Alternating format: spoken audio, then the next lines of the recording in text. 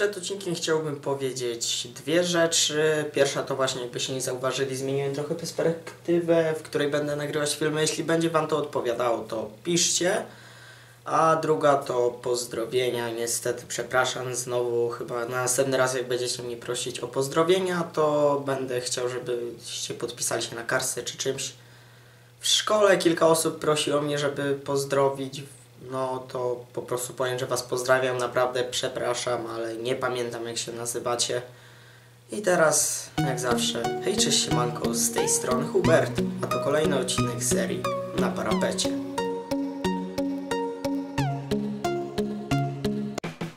Dziś mam dla Was przygotowane dwie, trzy historie, zależne czy jedną z nich można nazwać historią, ale no później dowiecie się o co chodzi.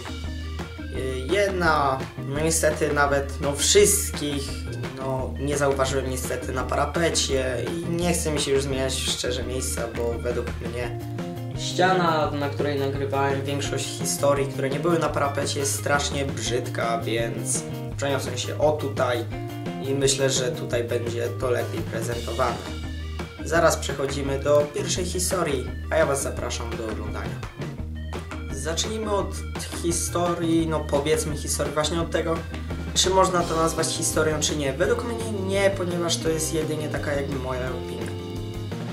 No to okej. No to jak zawsze ostatnio wracałem do szkoły, ogólnie teraz wakacje to wow, życzę Wam tam tych spoko wakacji i w ogóle, żeby Wam było fajnie na tych wakacjach i czego tam jeszcze chcecie. No ale okej. Wracam z tej szkoły tak dosyć luźnie, dlatego że teraz nie ma za bardzo takich większych no, lekcji ani nic w tym stylu. Przechodziłem obok mm, tego przedszkola. Dosyć często przechodzę i już mówiłem, że droga moja do domu jest przez szkołę i obok od razu jest przedszkole. No jakie to było w zasadzie? Mm, Przechodzę i widzę masę dzieci, jak zawsze na podwórku się bawią. Sorry, że tak spoglądam, dużo osób dosyć łazi, a ja mam otwarte okno. I patrzę i tam było dosyć takie wyższe dziecko. No czy wyższe? No normalnie by mi dociągało gdzieś dotąd. Ale się tak przyjrzałem i zdałem sobie sprawę, nie chcę tu do, o, dokładnie opisywać tej osoby, ale był, było to dziecko wyższe od Kremcia. Nie będę opisywać Kremcia, bo wiem, że on sobie nie życzy, żeby pokazywać jego twarz tak często w internecie i ogólnie. To nawet możecie zobaczyć na Rudym Nagale, że jest dosyć niskiego wzrostu. Nic do tego oczywiście nie mam, ale mi chodzi o to, że dzie dziecko szczerze gigant, dlatego że Bartek nie jest, przepraszam, no ma na imię Bartek. No, nie jest aż tak niski, żeby być mniejszy niż w przedszkolach, a ten dzieciak naprawdę był dosyć wysoki, patrząc, że nawet był wyższy od samego Kremcia.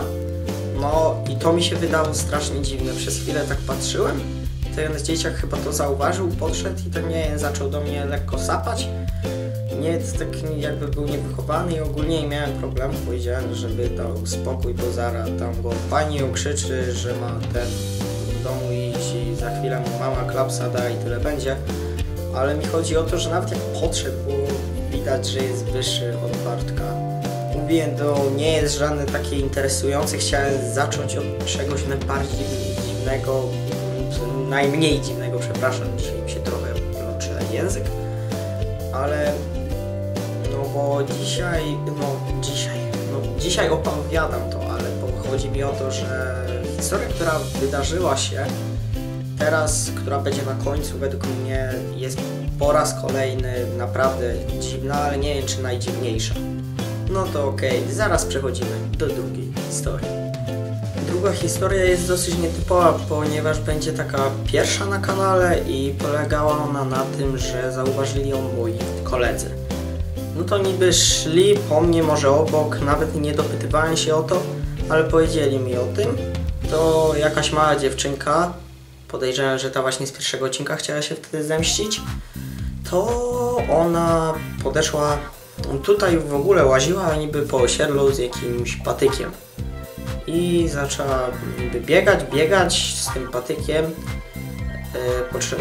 Podeszła do mojego domu, skoczyła mi na początku na schody, zaczęła tam niby skakać, wzięła ten patyk i zaczęła mm, no, uderzać w moje drzwi.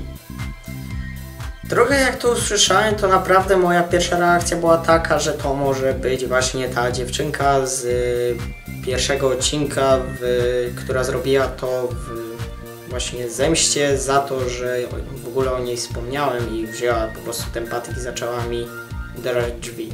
Gdyby były w ogóle drewniane czy coś, to kit, ale one są białe i plastikowe.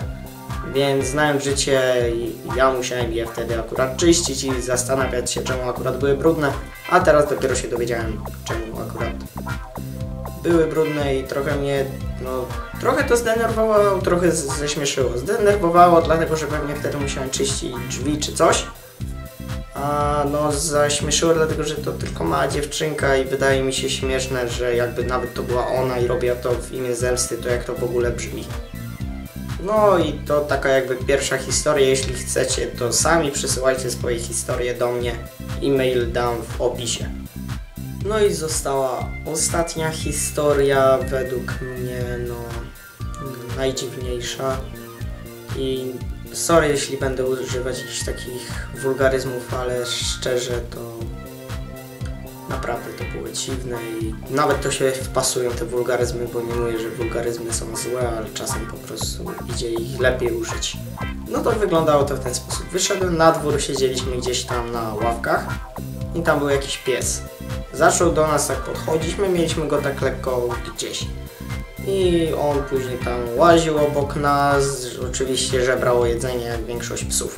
Ale no, my daliśmy mu coś tam powiedzieć, później go wygoniliśmy, on poszedł tam na jakby drugą stronę ulicy, tak na środku staliśmy, on poszedł gdzieś w tamtą stronę i tam były takie małe dzieci. I niestety to co on zrobił było dosyć według mnie nawet głupie, mm, straszne i jakby to powiedział pan Remigiusz Maciaszek, krwawe i mordercze.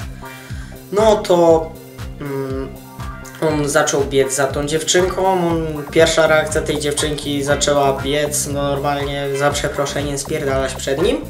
I jak już się chyba gdzieś tam wywaliła to, co on zaczął robić, zaczęło być straszne. On oczywiście rzucił się na jej nogę i zaczął ją powiedzmy gwałcić, nie wiem jak to inaczej ten określić, jeśli chodzi o psy. I ta dziewczynka strasznie tak krzyczała, my zaczęliśmy tam podchodzić, ktoś tam później odgonił tego psa, on pobiegł dalej za jakimiś innymi dziewczynkami. No to my tak z ciekawości pobiegliśmy za nim.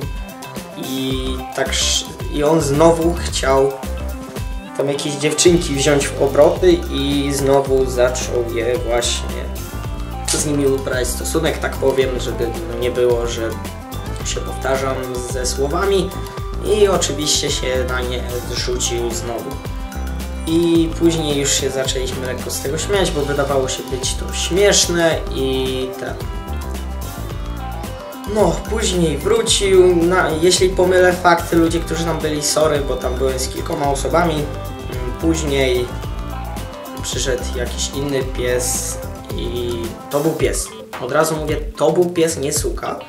A tamten, który też właśnie y, te małe dziewczynki ten, no, gwałcił, czy jakby to nazwać, y, no to też on był psem i stało się wtedy rzecz ta, straszna, dlatego że zaczął też gonić tego psa i wtedy zaczęło się to samo co z tymi dziewczynkami. Następnie później się już wkurzyłem i chciałem tego psa postraszyć.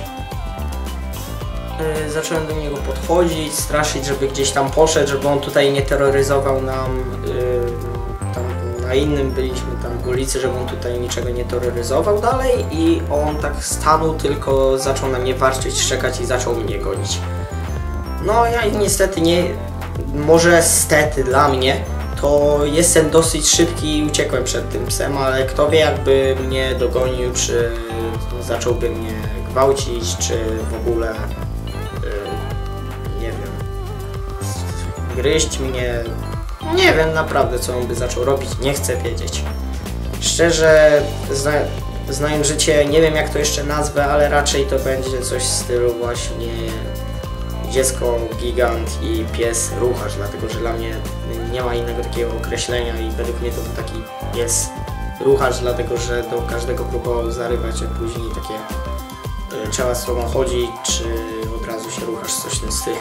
I to mi się tak jakoś, nie wiem, straszne wydało, a równocześnie śmieszne.